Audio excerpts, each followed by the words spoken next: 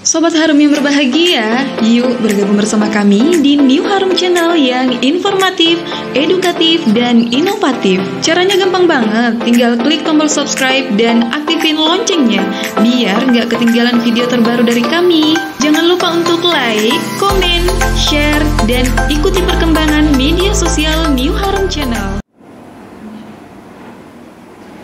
Assalamualaikum warahmatullahi wabarakatuh Bertemu lagi dengan saya Farah dari New Harum Channel. Pada kesempatan kali ini kita berada di segmen podcast Rikandiku Kali ini saya bersama Ibu Asna Rajuman SPD Yang merupakan Direktur Perusahaan PT Citra Mulia Perdana. Ternyata bukan orang baru dalam memimpin sebuah perusahaan. Beliau lebih dikenal dengan sapaan Ibu Yeyen yang diberikan langsung oleh rekan kerjanya. Beliau cukup lama bekerja di salah satu perusahaan yang cukup terkenal di kota Makassar. Beliau sebagai sales eksekutif pada tahun 1996 hingga pada akhir jabatannya pada tahun 2020 beliau menjabat sebagai GM Marketing Deal Indonesia yang mencakup wilayah Sulawesi, Jawa, dan Kalimantan.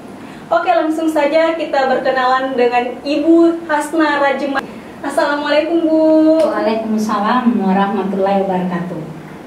Selamat pagi Farah. Ya Bu. Uh, saya tentu terima kasih secara pribadi telah diundang untuk hadir di podcast New Harum Channel yang saya tahu bahwa uh, link YouTube ini sangat memberi edukasi kepada masyarakat yang mana konten-kontennya itu membangun dan memberi inspirasi kepada semua kalangan untuk selalu berbuat dan memberi manfaat kepada orang lain. Nah, berbicara perkenalan, eh, tadi itu Farah sudah menjelaskan demikian banyak daripada siapa saya sebenarnya. Kalau dilihat namanya Hasna Rajman biasa aja, tetapi yang lebih dikenal saya lebih familiar dengan Ibu Yeyen. Nah, kronologisnya panjang. Yang jelas Ibu Yeyen itu uh, telah memberi kiprah banyak di segala bidang ya uh, dan memperkaya pengalaman saya secara pribadi untuk terus uh, mengejar apa yang menjadi fokus kita sebagai manusia. Nah, seperti saya katakan tadi bahwa kalau berbicara background pendidikan, sesungguhnya saya adalah orang uh, pendidikan karena pendidikan saya itu adalah Fakultas Keguruan dan Ilmu Pendidikan.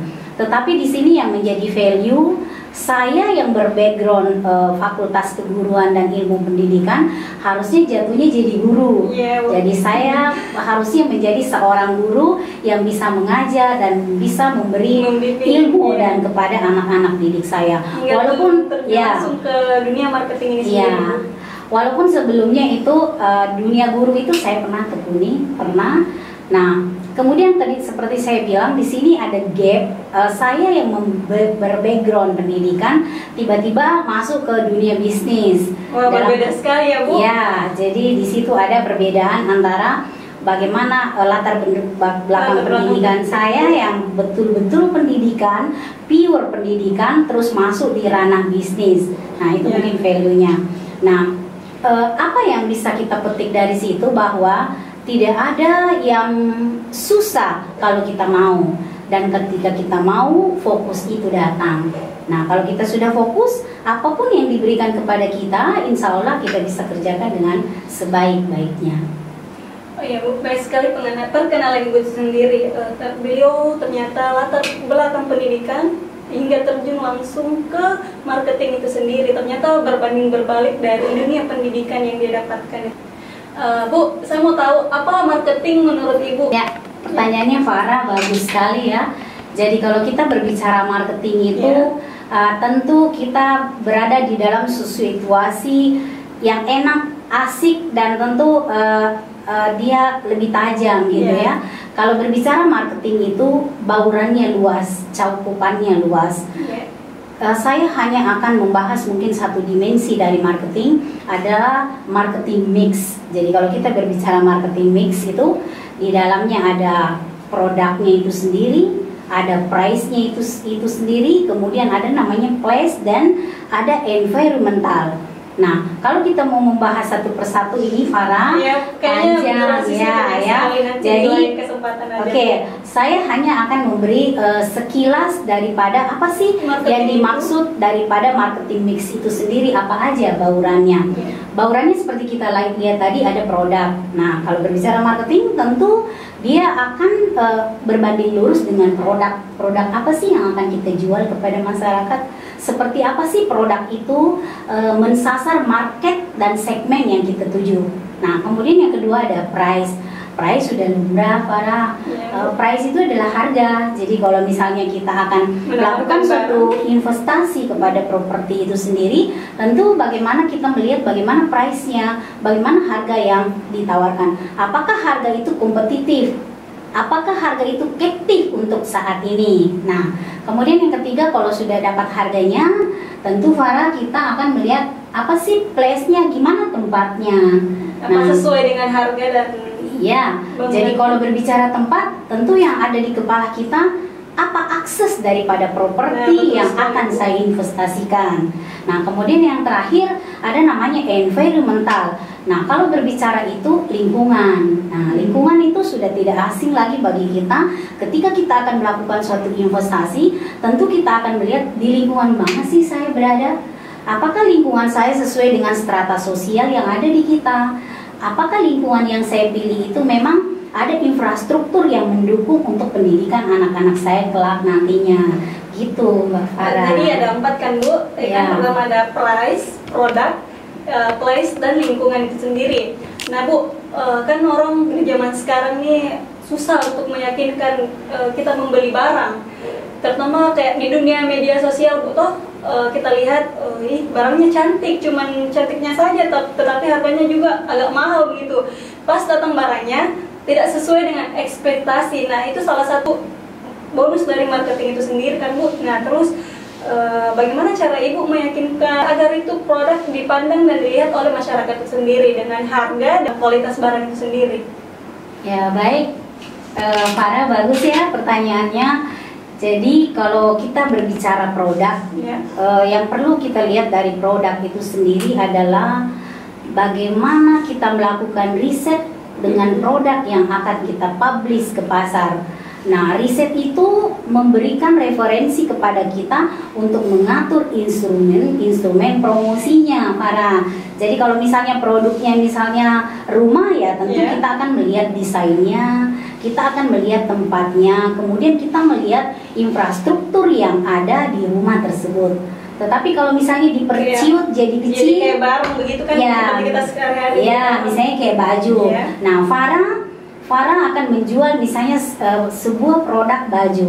Iya. Apakah baju itu memang eh, Dibutuhkan. Se- segmennya cocok dengan kita saat ini? Iya. Jadi tentu kita lihat dulu marketnya apa. Kalau marketnya seperti Farah berarti milenial. Iya. Nah, milenial berarti modelnya harus kekinian seperti saat ini.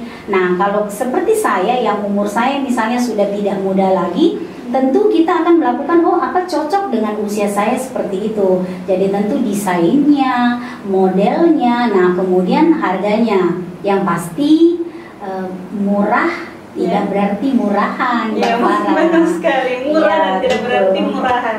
Oke, baik sekali. Ini marketing, kita ulik-ulik tentang marketing itu sendiri, apa-apa saja yang ada chat di dalamnya itu. Eh, Ibu, kan kalau marketing itu sendiri kan luas baurannya tadi dijelaskan. Nah, kita singkat-singkat saja tentang marketing ini sendiri. Eh, seperti kita lihat sosial media saat ini lebih cenderung laku barangnya dibanding eh, sales-sales yang berdatangan dari rumah ke rumah itu sendiri. Nah, menurut Anda itu salah satu tips dari marketing sendiri atau bagaimana, Bu? Ya, jadi kalau berbicara marketing Iya. itu tentu ada metode, ada Mhm. cara. Nah, eh, seperti saat ini tren yang terbangun dari metode itu adalah bagaimana mem- memanfaatkan digital marketing secara baik. Jadi kalau metode tadi kan metodenya ada offline ya. Offline itu tadi saya door to door ke rumahnya Mbak Farah, Mbak Farah mau nggak beli saya punya produk. Ah, itu door to door. Kemudian door to door yang kedua kita hunting kepada kantor-kantor pemerintah atau non instansi pemerintah untuk menawarkan kita punya barang. Nah, rupanya cara seperti itu saat ini sudah tidak tren lagi. Iya. Ayo kita gunakan kita punya handphone untuk kita mensasar pasar yang ada. Nah, lahirlah sistem pemasaran online. Jadi sistem pemasaran online artinya bagaimana memanfaatkan eh, orang-orang yang berada di dunia maya itu sendiri untuk melihat kita punya eksistensi produk. Ya, jadi eh, saya misalnya memasarkan sebuah rumah ya, ayo kita langsung eh, Foto rumahnya ya, foto Ya, foto rumahnya, rumahnya. kemudian bikin display yang sangat bagus-bagus, bikin narasi yang jelas tentang strength dari produk itu. Apa sih keunggulan daripada produk itu? Nah, kalau itu dilakukan, insya Allah online kita jadi booming, Mbak Farah. Makasih Bu, saya mengetahui tentang sosial media itu sendiri ternyata gunanya tidak hanya mempromosikan barang itu sendiri tetapi bagaimana cara kita mengajak masyarakat untuk melihat barang yang kita jualkan di produk itu sendiri yang berada di sosial media. E, Menurut Ibu bagaimana marketing di dunia zaman sekarang ini Bu? Apakah lebih bagus dibanding zaman dahulu begitu Bu? Ya. Kan Ibu, ikan beliau sudah lama di dunia marketing sejak tahun 1996 hingga pada akhirnya 2020 beliau menjabat seba- sebagai GM itu salah satu menurut saya salah satu jabatan yang tertinggi di dalam dunia marketing itu sendiri. E, Bagaimana Bu menurut Ta- tentang efek dari sosial media itu sendiri dengan marketing yang di zaman sekarang ini? Efeknya dari sosial Iya, media Bu? Baik, Mbak. Eh, Biasanya jadi orang ini menolak dari sosial media, ah jangan makin beli, ada bagus. Jadi sebenarnya itu barangnya di sosial media, hanya menaik cantiknya gitu barang. yes. Eh, Bagaimana begini. cara menghilangkan uh, Iya. asumsi masyarakat itu Iya. sendiri tentang membeli barang di sosial media, Bu? Ya, begini kalau kita berbicara sesuatu barang yang kita pasarkan di online, itu kan di ya. dalamnya pertama ada trust. Bagaimana brand yang kita bangun di sosmed itu trust. Jadi trust secara produk, kemudian trust secara layanan delivery. Jadi ketika orang mengorder ke kita, bagaimana mendeliverinya itu tidak delay. Oke. Ya, itu satu. Kemudian yang kedua, bagaimana narasi yang kita sampaikan di online itu memang mensugesti pembeli, mensugesti konsumen kita bahwa oh ternyata narasinya memang oh misalnya dia eh, bahannya dingin. Hmm. Kemudian eh, desain yang ada itu konstruksinya dia tidak bocor. Kalau berbicara misalnya drainase kalau sebuah rumah, oh dia underground cable, dia dia semua kabel-kabelnya di bawah tanah. Berarti itu kan sudah jaminan. Jadi bagaimana memberi jaminan mutu kepada online itu supaya orang jadi trust dengan kita.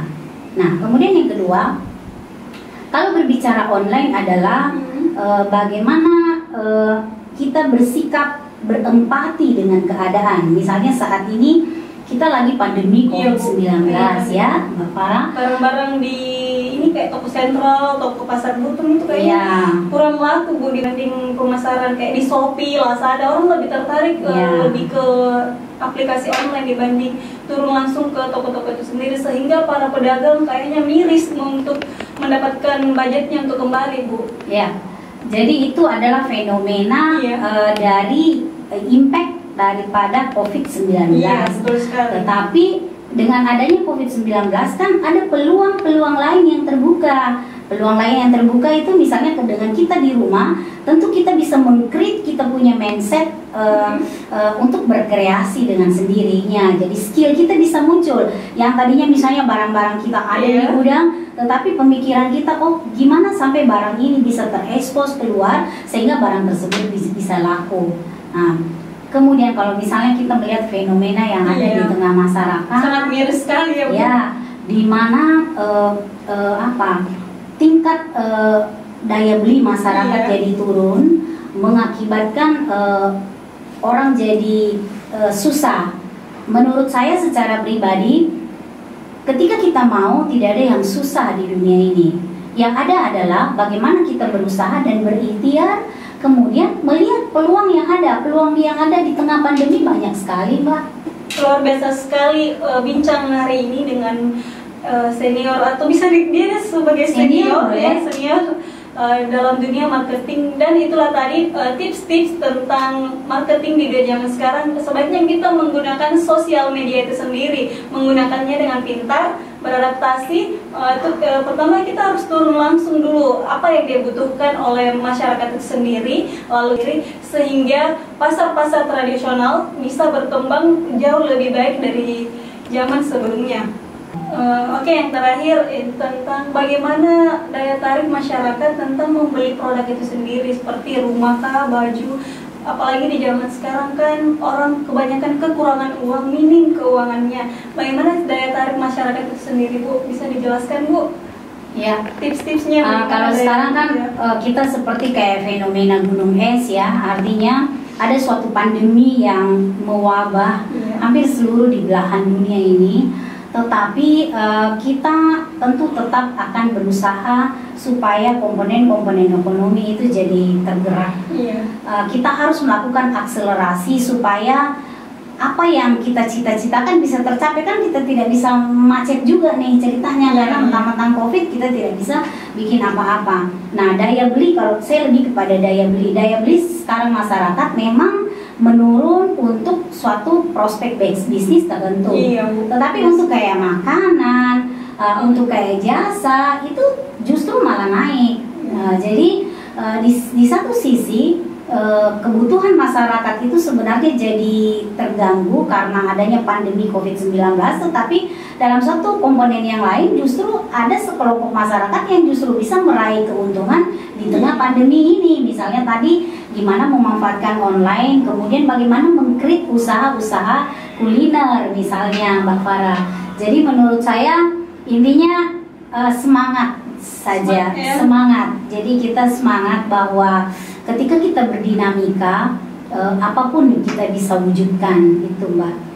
Jadi khusus masyarakat di rumah jangan pernah berputus asa dalam berusaha karena memang berusaha itu ada naik turunnya seperti yang dikatakan beliau. Tidak selamanya orang cepat mendapatkan keuntungan tetapi kita terus-terus saja berjalan hingga mendapatkan keuntungan itu sendiri kata ibu. Oke baik sekali dari New Harum Channel ini mengundang salah satu narasumber perempuan yang di mana perempuan ini sangat pintar dan senior di dunia marketing itu sendiri semoga bermanfaat buat kita semua yang ada di rumah dan belajar dari yang disampaikan Ibu Hasna Rajuman ini Oke, sekian dari saya. Assalamualaikum warahmatullahi wabarakatuh. Terima kasih. Waalaikumsalam warahmatullahi wabarakatuh.